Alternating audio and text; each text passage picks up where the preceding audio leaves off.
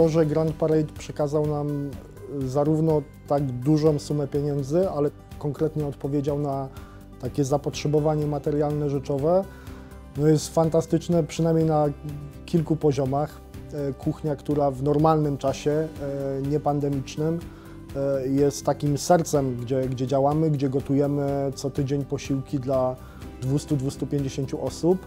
No, ona trochę się zużyła i dobrze by było ją trochę odświeżyć. Będziemy mogli konkretną, dużą inwestycję zrobić.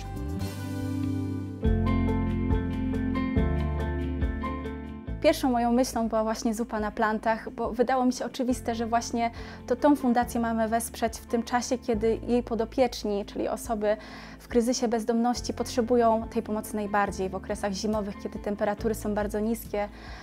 I tak naprawdę ta pomoc może znaczyć dla nich być albo nie być.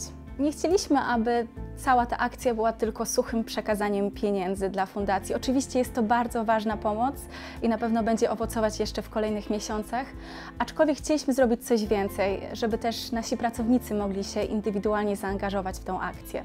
W związku z czym zorganizowaliśmy zbiórkę produktów żywnościowych, ubrań, obuwia czy też produktów higienicznych, które przekazaliśmy fundacji.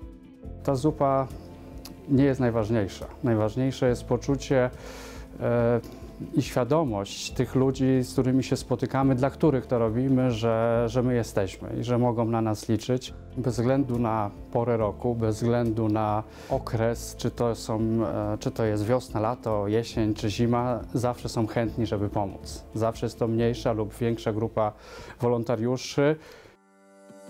Zaangażowanie społeczne jest, jest ono jakby wpisane w DNA.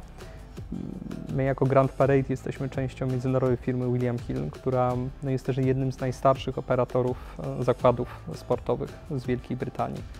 Tutaj w Polsce jako Grand Parade jesteśmy e, firmą technologiczną. Zatrudniałem ponad 400 programistów i pandemia chyba świetnie pokazała, że jako korporacja, jako branża IT jesteśmy nieco bardziej uprzywilejowani. Pandemia nie dotknęła nas w takim a, istotnym stopniu, dlatego to tym bardziej jakby obliguje do tego, żeby angażować się w działalność społeczną, pomagać tej, tej społeczności, a przede wszystkim skupiać się na tych, którzy no tyle szczęścia, co my nie mieli i nieraz są wykluczeni społecznie.